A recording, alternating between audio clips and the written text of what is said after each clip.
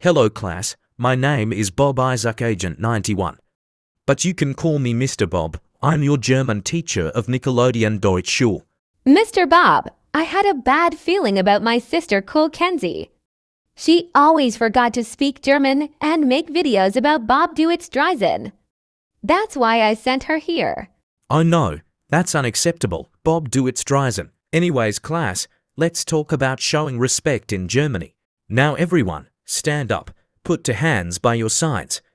Then slap softly on your thigh and bow your head down. Now let's start with some basic German words. Hello, ich bin. Then say your full name. Hello, ich bin Bob Duits Dreizehn. Hello, ich bin keeping up with Kool Kenzie. Oh, you are so close, keeping up with Kool Kenzie.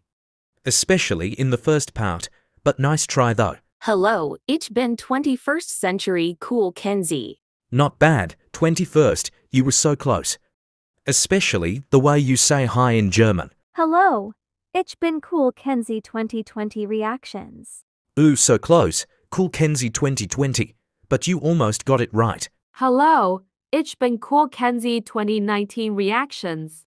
Not bad at all, Kool Kenzie 2019. You almost got it right of saying hi in German. Hello, ich bin Kool Kenzie's Reactions 12. Good try, Kool Kenzie's Reactions 12. But you sound English slightly in the first part. Let's talk about looking forward to everyone's help in German. We say, Ich freue mich auf den Hilf. Oh, got it. Do we have to write it down? Of course, Bob Duits Dreizehn. Write down the basic German words you've learned.